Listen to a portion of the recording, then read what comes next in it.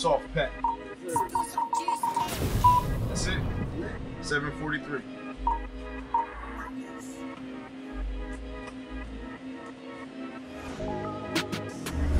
What's up, everybody? This is Terrence from At the End of the Day, and you're listening to End of the Day podcast.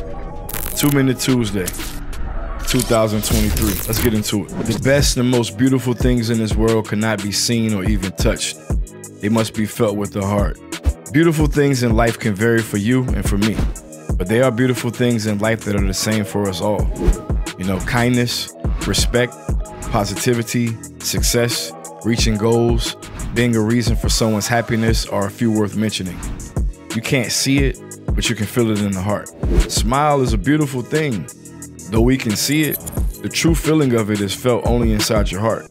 Hard work and efforts behind the success may or may not be seen visibly, but the results and success out of your hard work gives you a beautiful feeling that can only be felt inside the heart.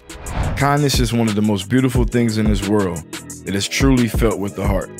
Spreading positivity, sending good vibes cannot be seen visibly, but only felt with the heart. People can ask questions like, you know, I can see the help I did, or am I doing a positive thing? You know, am I working hard, etc.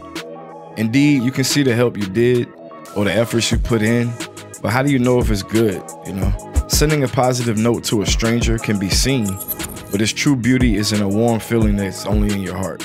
Unless you feel it in the heart that is good or positive, these are just acts, you know. That's why beautiful feelings and things that cannot be seen or touched, they only felt in the heart.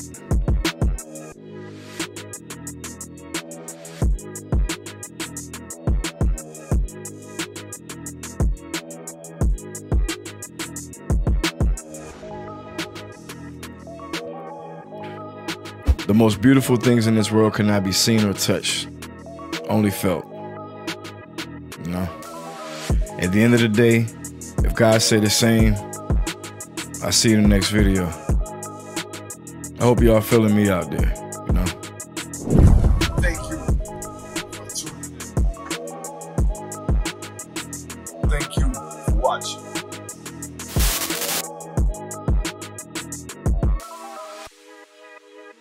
some juice cake.